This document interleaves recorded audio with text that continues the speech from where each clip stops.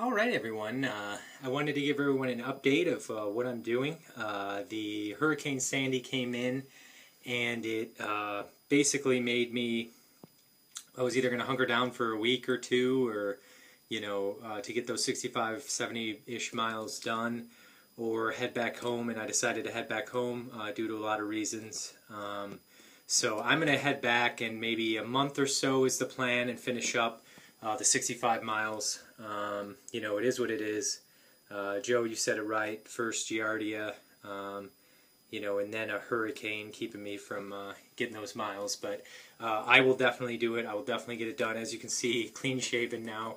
Uh, kind of crazy. Um, yeah, uh, some weird things coming back home. It was really nice to see my family, but I just tried to put on like all my pants and they were huge. I think I went from like a 38 belt size to uh, probably like a 28 or maybe even smaller. I'm not sure.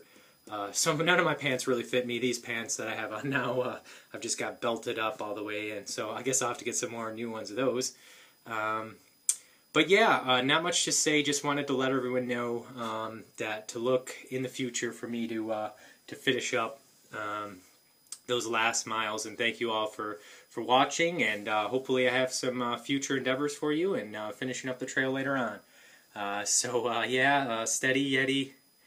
Uh, over and out, folks. Over and out. This has been a Steady Yeti production. Goodbye.